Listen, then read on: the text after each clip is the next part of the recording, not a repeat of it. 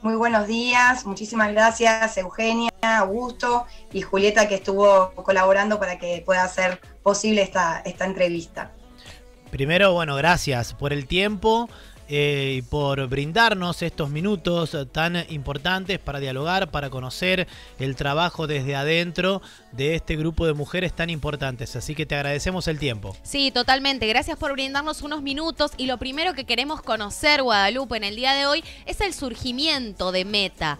Eh, ¿En qué momento se funda y cuáles son los objetivos de su fundación?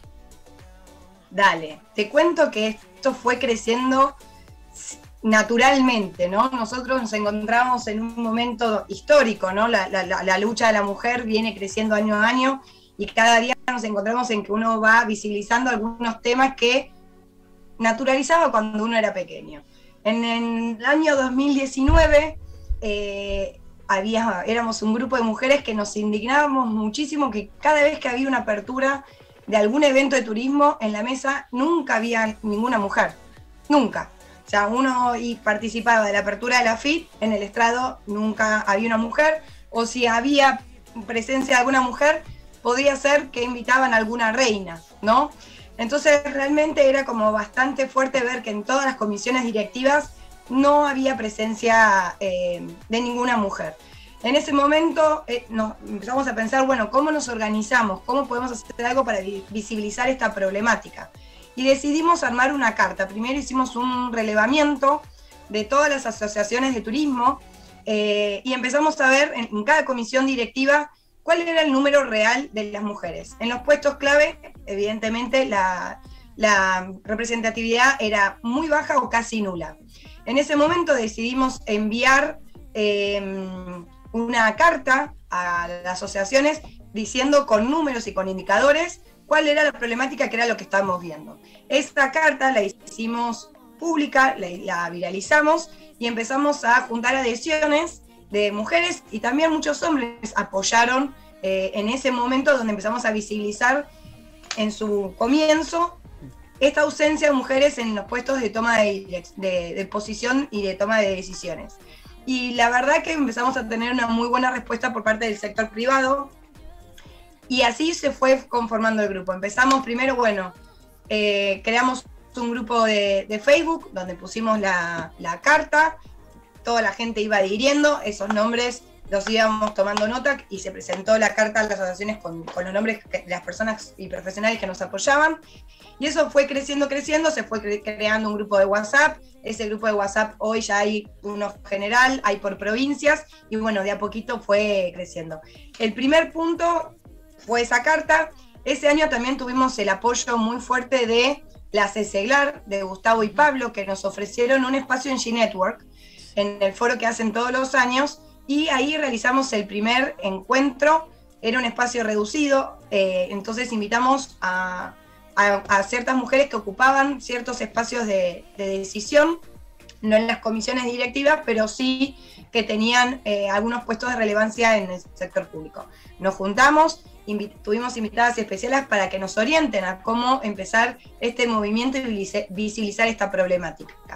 Eh, y bueno, nos fueron acompañando y un poco fue también compartir cuál era la mirada de cada una, porque también la idea de Meta es, eh, no hay una única voz, sino que hay una diversidad de voces eh, respecto a la temática, cómo lo ha vivido cada mujer, algunas lo sienten de una manera más visceral, hay otras que se sienten más testigo, pero sí todas coincidimos que esta problemática es un hecho en, el mundo y especialmente el turismo no, no queda ajena a esa realidad. Así que empezó con algo muy puntual de mm, las mujeres en los cargos jerárquicos, en, las comisiones directivas, pero se fue ampliando, eh, digamos, nuestra lucha.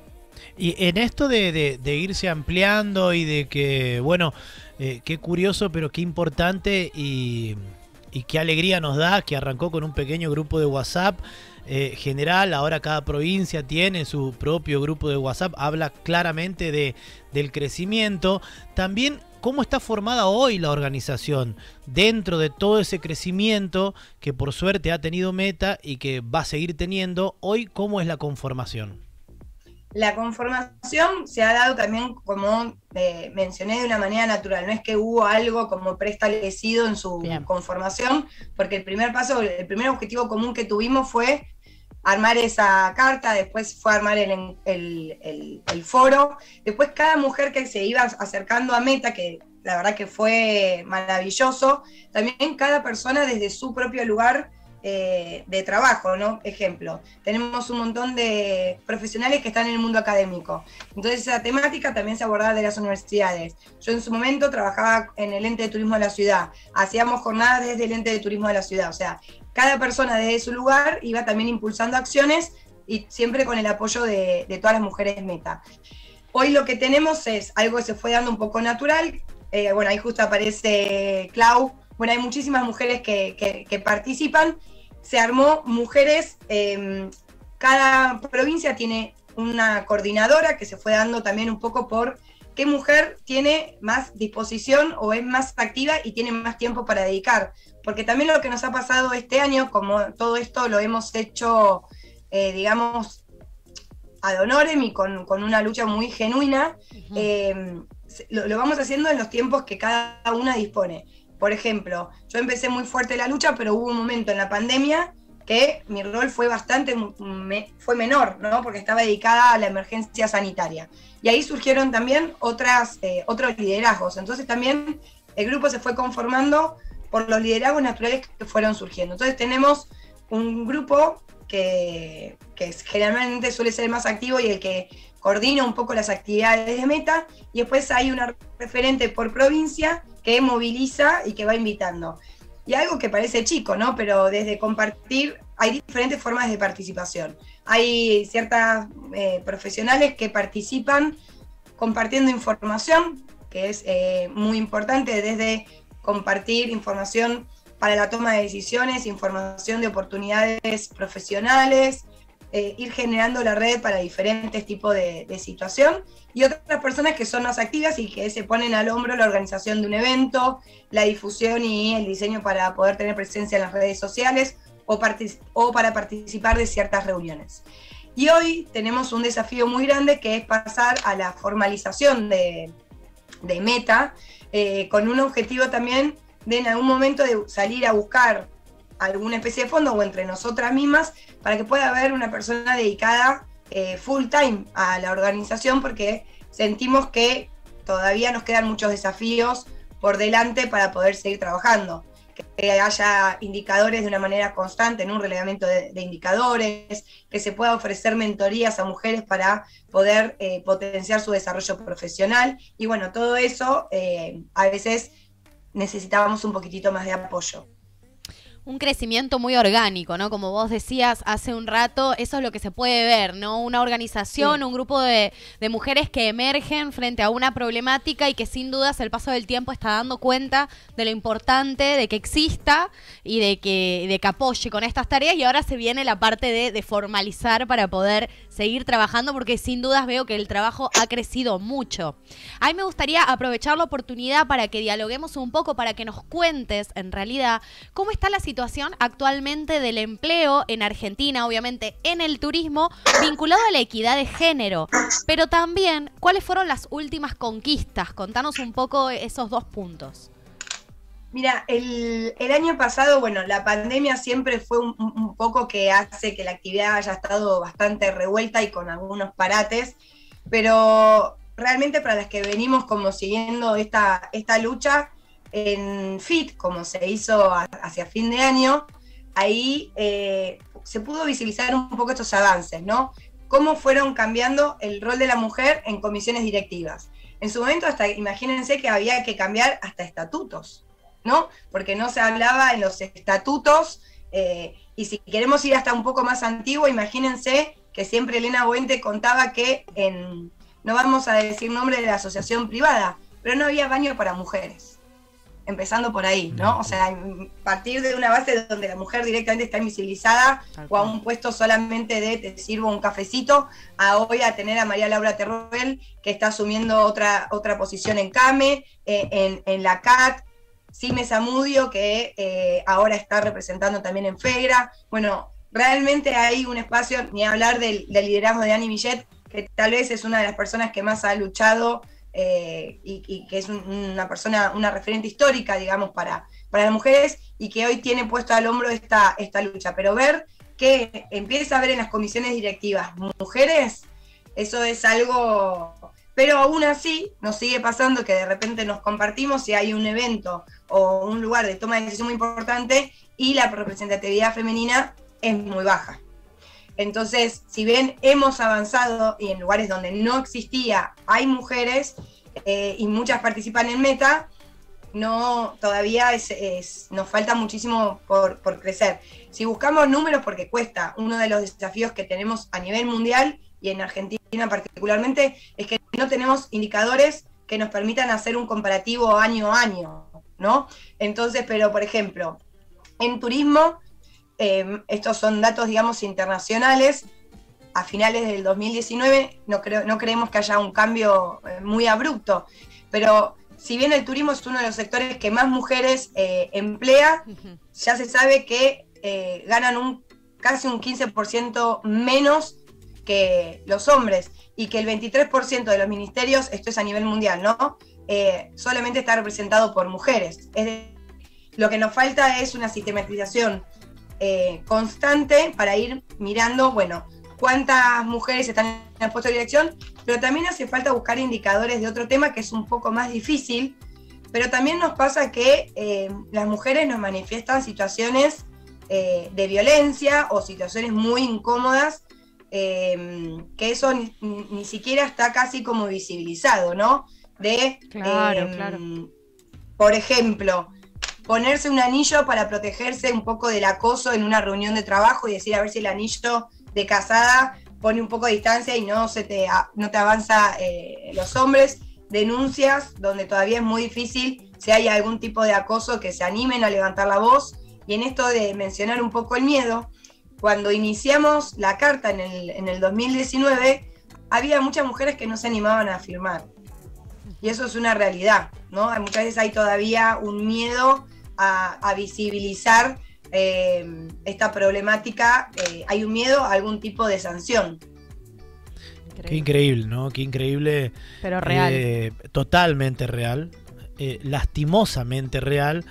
Pero con la esperanza de algunos números, como nos cuenta Guadalupe, de, estadísticas que también son muy difíciles de llegar a realizar, que avalan de que el crecimiento eh, está haciendo, hay un trabajo, hay, hay un crecimiento desde la mujer y, eso es lo que más esperanza nos da día tras día. Es que justamente la red creo que es la clave, ¿no? Como la red da valor, apoya y permite ese avance. Exactamente, y la palabra miedo, que es algo que debería ya no existir y, es tan fuerte también en, un montón de casos de mujeres. Eh, volviendo al tema de la organización, eh, Guadalupe, me gustaría saber cuáles son las acciones específicas que lleva adelante la organización actualmente. Actualmente lo que hacemos esto, esta, esta palabra tan importante que ustedes mencionan, de, por ejemplo, trabajo en red. Por ejemplo, Hoy en la Patagonia va a haber un evento muy importante que organizan algunas de las eh, fundadoras, algunas de las participantes del Grupo Meta y nosotros acompañamos. Nosotros durante todo este mes estamos em, generando un trabajo específico que es recopilar testimonios y también agradecer, porque no nos tenemos que olvidar eh, eh, el agradecimiento. Los testimonios es para poder tener, visibilizar esto que vivimos las mujeres, un testimonio desde como les comentaba, eh, no existía un baño en una reunión de trabajo para las mujeres o esto que nos cuentan muchas veces, mm, van a una reunión eh, importante donde se están discutiendo ciertos temas y no suelen mirar a la mujer, y esto estoy hablando 2022, eh, no estoy hablando 1920, ¿no? Entonces se invisibiliza la, a la mujer en ese momento, entonces perdonen que me voy yendo, pero bueno, estos testimonios los, estamos recopilando durante todo este mes y además un poco también es el momento también de agradecer, porque hubo muchas personas que también están trabajando en la temática. No nos podemos olvidar también, no sé, la Cámara Argentina de Turismo, si ustedes ven, hace un rato estaba mirando cuál era, y también, ¿no? Esto de cambiar este mensaje que antes te daban el feliz día y te regalaban un ramo de flores, eh, y esto, como ustedes muy bien mencionaron, que es un día para conmemorar, que estamos luchando. Entonces, también trabajamos mucho de la mano del sector privado. No, no hubo acciones que hagamos totalmente aisladas, siempre es eh, en red. Entonces, e, en este mes particular nos ayudan ciertas organizaciones, pero este mes es para recopilar estos testimonios y después también dar visibilidad a aquellas personas, no importa el género o el género autopercibido, que colaboraron en el crecimiento de mujeres. Entonces también es un mes para así también eh, agradecer. La CCLAR fue una organización que realmente desde el día 1 nos apoyó eh, para seguir haciendo eh, estos encuentros. Seguramente en G Network este año lo volvamos a retomar, pero como decimos, no son acciones que hagamos de una manera aislada. Después hay mucho trabajo que es hormiguita o que tal vez no es visible, que es este trabajo de estar hablando entre mujeres, cómo atravesamos cierta, em, cierta situación. Eh, o, por ejemplo, nos estábamos hablando con una mujer meta de la Patagonia, em, de Comodoro, y, allá tal vez no hay tantas organizaciones que hablen de esta temática. Entonces muchas veces es, nuestro rol es escuchar y acompañar, y ya el hecho de eh, estar escuchando, acompañando eh, y poniendo a disposición información recobra eh, muchísimo valor. Así que por ahora este mes es de mucha sensibilización.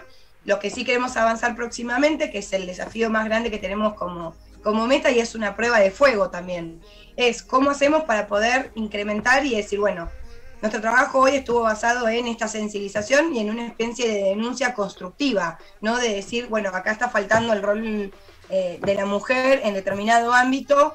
Eh, ahora, ¿cómo hacemos para además dar mentoría o acompañar a una mujer si quiere hacer algún tipo de, denuncia? ¿Cómo hacemos para eh, que los datos no sean acciones aisladas? Como yo les decía, en 2019 estuvimos relevando uno a uno un trabajo de hormiga. Bueno, eso tiene que, tenemos que buscar una manera que sea sistematizada a través de un observatorio. El observatorio podrá estar de la mano eh, del Ministerio de Turismo y Deporte, podrá ser con apoyo nuestro. Lo importante es que se haga, no tenemos, no somos una organización donde nos queremos llevar eh, los logros, lo que queremos hacer es impulsar políticas claras que apunten a la igualdad de género. Bien, Guadalupe, realmente muy interesante poder conocer en profundidad la organización, poder saber cómo trabajan. Lo último que me gustaría preguntarte. Yo, una cosa cortita, eh, recién cuando Guadalupe eh, explicaba, pidió disculpas porque por irse un poco de las ramas. Eh, no hay que pedir disculpas. Primero porque es muy normal y está perfecto que lo haga esto de explicar la, la naturalidad, la vida cotidiana con el trabajo de la organización. Entonces está perfecto las comparaciones, está perfecto poder seguirse un poco de las ramas como para que la gente entienda que la organización tiene un trabajo específico, pero después también hay una realidad paralela en la que también se trabaja. Bien, lo que, lo que me gustaría saber es, ya nombraste este tema de la formalización, recién estabas hablando del observatorio, ¿Qué nuevos desafíos se está poniendo por delante Meta para este año 2022 y para lo que viene, para el futuro del turismo, ¿no? Porque estamos también comenzando una nueva era con todo lo que eso implica. Yo creo que son estos que un poco eh, recapitulo, ¿no? Sí. Estuvimos muy abocadas a la sensibilización de esta temática, todavía hace falta eh, seguir trabajando. O sea, todavía muchas veces hay mujeres que les da vergüenza decir que son feministas dentro de nuestro, de nuestro mismo grupo. Entonces también hubo que em, poner un poco en la misma página a todas las mujeres porque no todas teníamos el mismo, y me incluyo, yo me tengo que desconstruir y ustedes no saben lo que nos, nos cuesta eh, redactar, porque uno no lo tiene incorporado, tiene sesgos que muchas veces son inconscientes, entonces tenemos que estar permanentemente autorrevisándonos a ver cómo nos expresamos. Así que muchas gracias, Augusta, también por, por ese comentario. Es un trabajo de, construcción nuestra también. Entonces ahí eh, ustedes no imaginan cómo compartimos, bueno, esta sería la mejor manera. Por ejemplo, nosotros ahora no queremos solamente eh, el apoyo de la mujer. Hay un montón de hombres que nos han, eh, han contribuido a que Meta crezca. Digo siempre, digo, la Cecelar, Pablo y Gustavo, porque fueron de los primeros que se pusieron al hombro nuestra iniciativa y esto es algo que no nos lo vamos a olvidar nunca, ¿no? Porque realmente en ese momento donde había mucho miedo por firmar, tener organizaciones que, que, te validen, que te den un espacio, que te ayuden, es un montón.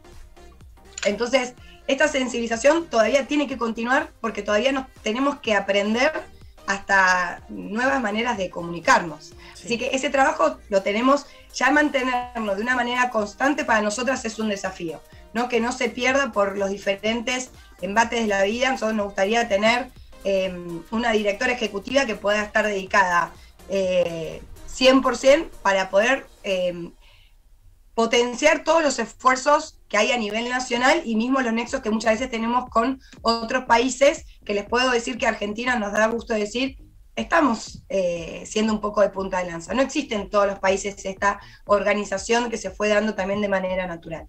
Pero no, va, no basta solamente con sensibilizar, como te comentaba, hace falta tener números, porque tampoco se pueden medir los avances que vamos teniendo en cuestión de género si no medimos eh, con indicadores clave y eso requiere todo un trabajo sistemático que tenemos que, abordar. Por otra parte, está comprobado que el trabajo de mentorías y de dedicarle un espacio de, coaching en la mujer para que pueda romper el techo de cristal, para que pueda trabajar, eh, trabajar para poder romper esos, esas barreras invisibles que muchas veces ni siquiera nos damos cuenta que, sufrimos. Muchas veces con una mentoría se puede acompañar para que muchas mujeres puedan desarrollarse. Por lo cual, eh, soñamos con poder brindar este tener estos datos de una manera sistematizada, soñamos con ofrecer mentorías a mujeres para poder potenciar su carrera profesional. Esos son desafíos que, algunos de los que tenemos marcados. Tenemos un otro desafío que queríamos trabajar con el Ministerio de Turismo y Deporte, que es eh, realizar un encuentro nacional para discutir esta temática, ¿no? para poder también tener una mirada desde cada rincón de, Argentina, porque las necesidades no son iguales en, todos los lugares y hace falta esos encuentros y esos debates y esos diálogos. Eh, también existe otra organización que viene trabajando hace muchos años, AFET, que también tratamos siempre de trabajar en, equipo. Y bueno, eh, yo creo que esos para sintetizar, continuar con una sensibilización constante eh, para poder desconstruirnos, avanzar en el tema de eh, números, indicadores de una manera también eh, constante para medir la evolución, poder ofrecer mentorías específicas a, a mujeres para que puedan dar un salto profesional, romper el techo de cristal, tener un espacio también para poder colaborar con mujeres si hace falta hacer algún tipo de denuncia, si hay algún tipo de acoso que muchas veces las mujeres vivimos. Hoy lo hacemos, pero es todo de una manera em, mm, sin una institucionalización, que muchas veces para poder, con, procesos tan delicados como una denuncia, hace falta tener algo con una mayor eh, profesionalismo y hasta con una mayor eh, asesoramiento legal. Así que esos desafíos parecen poquitos, pero para nosotros son eh, sumamente grandes. Totalmente. Eh, Guadalupe, eh, agradecerte primero por el enorme trabajo que están realizando a través de Meta y segundo que sabemos que es un día también de mucho trabajo que nos hayas regalado estos minutos para poder dialogar con vos. Es la primera, no va a ser la última. Esperemos seguir teniendo contacto con ustedes y seguir contándole buenas noticias eh, a las mujeres en el mundo del turismo. Así que muchas gracias por, por este diálogo. No, muchísimas gracias a ustedes y, y les digo que para quedarnos con, tenemos esta lucha por delante pero sin duda hemos avanzado un montón de escalones y eso también es, es, necesario que nos recargue de energía para poder eh, ir más lejos aún. Así que muchísimas gracias a ustedes. Totalmente, muchas gracias nuevamente, será hasta la próxima, un hermoso diálogo para comenzar el día de hoy. Hasta la próxima. Muchas gracias.